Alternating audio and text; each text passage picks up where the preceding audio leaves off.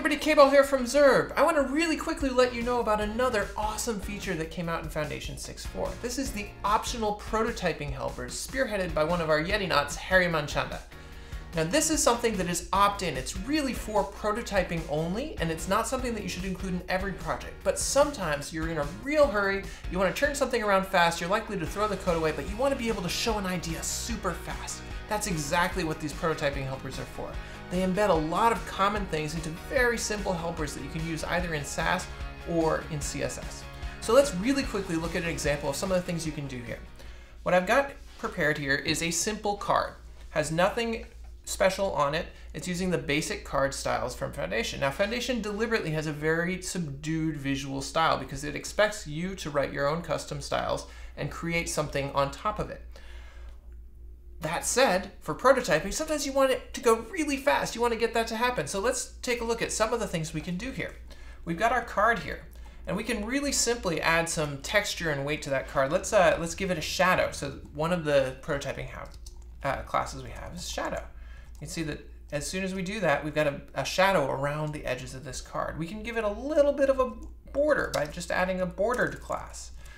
We can give it a radius on the corners to round those corners a little bit.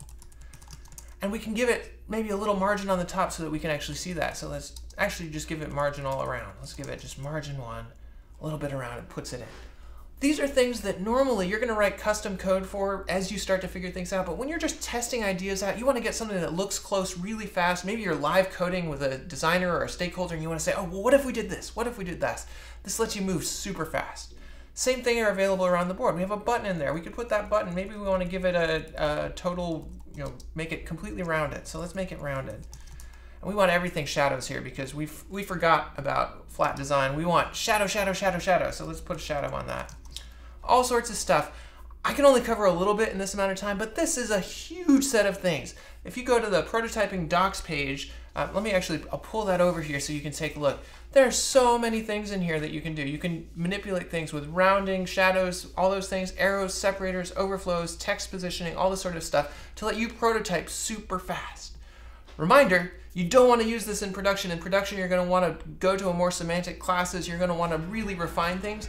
But that's once you've got figured out what you want to do. While you're still figuring that, that out, speed is crucial, and this can really help you get going. All right, so if you enjoyed that training and you want more, maybe you want to be able to ask questions directly in real time or get more breadth, learn everything that Foundation has to offer. We offer live webinar-based trainings as well. There's a link up in the corner to check it out. I'm one of the instructors, but you'll get to talk to the whole Foundation team here at Zurb who's working with Foundation, using Foundation day to day. Check it out.